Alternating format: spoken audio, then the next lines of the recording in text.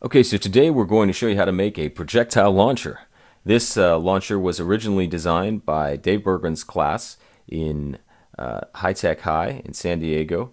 He's an engineering teacher there and was a mentor of mine when I worked there. So there are a number of different parts on this. We're going to talk about each of them. This is uh, it's made out of three pieces of wood. There's two one foot square pieces that are three quarters of an inch thick. Those are three quarter inch oak veneer plywood. We also have another piece here that's a 5 inch oak veneer plywood piece, um, also 3 3 quarter inch thick. And so let's talk about this first. This piece has uh, a bunch of different holes. They're set at 10 degree increments along this arc. And there's a 5 16 bolt that you can pull in and out and slide to change the angle of the launcher here. Uh, the, there's another piece right here. This is a piece of PVC. It's 2 inch PVC. It's uh, screwed onto this extruded aluminum piece. This is 3 quarter inch extruded aluminum. And it's connected with a uh, 830 seconds by one half by one and a half inch uh, machine screw. And then if you look over here, we have a stop. That's a 5 16 bolt. And that, that causes the, the bar to stop so that the ping pong ball is released. We have a pivot point. That's also a 5 16 bolt. And those are 2 inch long bolts. And uh, the piece of aluminum here, this is extruded 3 quarter inch square tubular aluminum, and it's 11 inches long. And then we have a eye screw here. That's a 530 seconds eye screw that connects our spring. The spring is a uh, 830, or sorry, is a uh, 1530 seconds 3 inch spring. And then we have a another a 5 16 bolt, a nut, and we've countersunk a hole so the nut sits below the surface. Now let's take a look on the inside here. We've uh, also created some holes. So we have a 5 8 inch center hole and a uh, and a 1 inch hole. And the 1 inch hole goes down about an eighth of an inch. The 5 8 inch hole goes down about a half an inch. And that allows the nuts and washers on the back side of these bolts to sit inside the bottom piece and for the two pieces of wood to sit flush, which allows for like zero degree angle launches and things.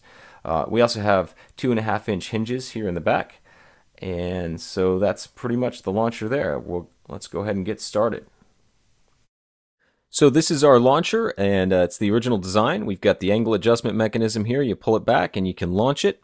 Uh, so that's basically how it works. You can pull the pin out, drop it down, and have it flat. So you're going to need a saw to cut the wood. It's going to uh, a circular saw will work great like this one. A drill to put some holes in it. You can also need a square. A try square like this works. You can also use a rafter square and something to determine angles, a compass. A file's important. You're also going to need a uh, wrench and uh, pliers, hacksaw, and some spade bits and spiral drill bits. So we've got our 3 quarter inch piece of oak veneer plywood here. And uh, we've got all our parts laid out, so our PVC and our different uh, sorted washers and nuts. And uh, you can see that we also have our, uh, our different bolts and springs there as well and our piece of uh, extruded aluminum. And so we're going to go ahead and start making our first hole. And that's going to be the hole for the 5 16 bolt that holds the spring in place, that bolt right there. And uh, so the way we do this is we have two nuts on either side of the bolt that we tighten down against each other to hold the bolt in place and keep it nice and stable. We're going to use an 7 8 inch spade bit and we've got it taped about a quarter of an inch up so we only go down a quarter of an inch and that'll allow us to countersink a hole and then we're using our 5 16 spiral bit so we can put our uh, bolt in the wood. And we're getting everything set up. This is our pattern we drew on the computer. And we're going to use that pattern to cut out different angles. We're going to use a, uh, a small 330 seconds bit to drill pilot holes which makes it easier to drill our larger holes with the 5 16 bit which is the uh, the size of the bolt that we'll actually have there. So the pilot holes help us to guide that larger bit into the uh, correct location. Okay, so now we're going to drill the center hole. We're going to use a 7 8 drill bit. That's a spade bit. We've got it taped a quarter of an inch up.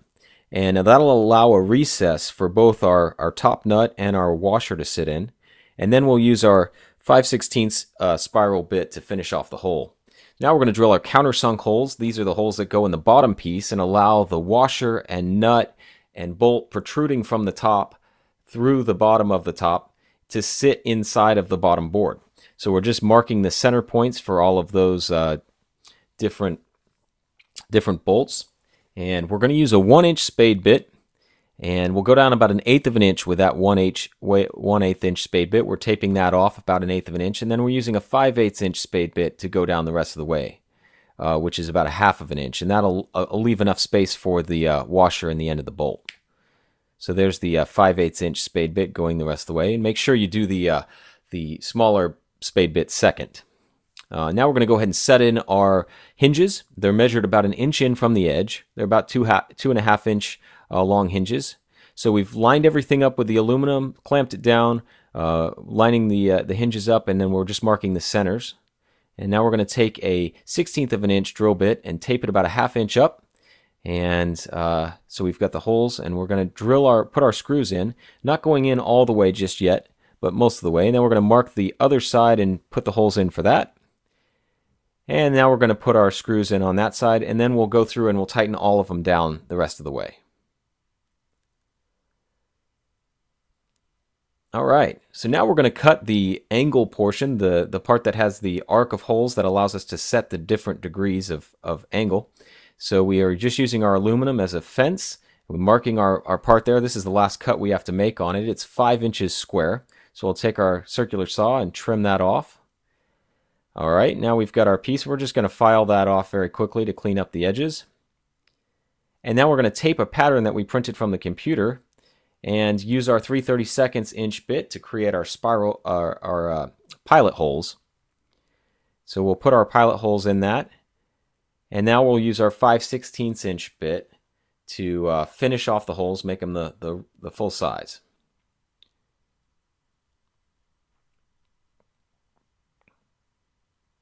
All right, so that's our the part that we just made. We're getting it lined up and centered, and we're going to mark it uh, to, to line it up with our, our device, and we're marking it so that uh, we can put our screws in about an eighth, uh, three eighths of an inch up from the very bottom of the device. That means that the screws will be in the center of the bottom board we're screwing into, and we're using a 16th inch drill bit, and we're spacing those holes about an inch and a quarter apart.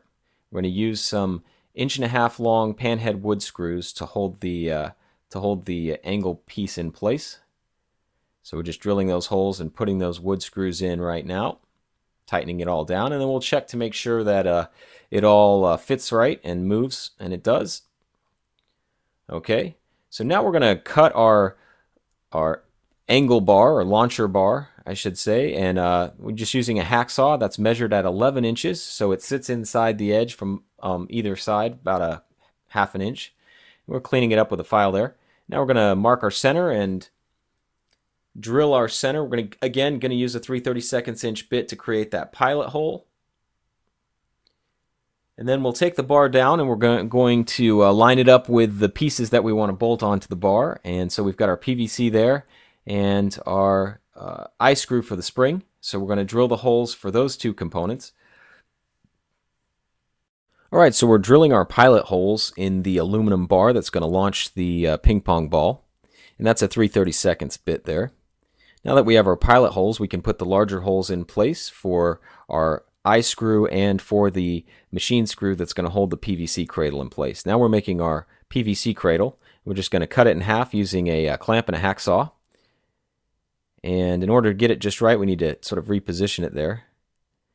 Now the uh, hacksaw leaves a rough edge, so we'll clean that edge up with a uh, break-off blade knife. You want to be careful doing that so you don't cut yourself. And then we'll use a, uh, a file to just smooth off the edges the rest of the way. We'll mark the center about 3 eighths of an inch up and drill a pilot hole and then our final hole.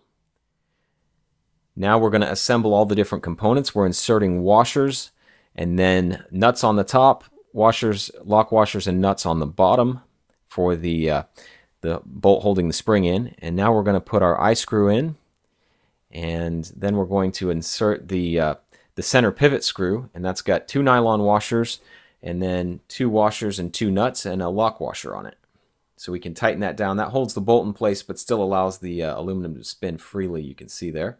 Now we're going to put our stop uh, in place and that's just a, a another 5 16 bolt with some nylon washers around it.